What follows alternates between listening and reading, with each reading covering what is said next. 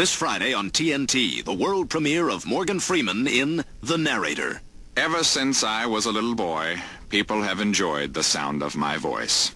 And I figured you either get busy talking or you get busy dying. The work is really quite easy.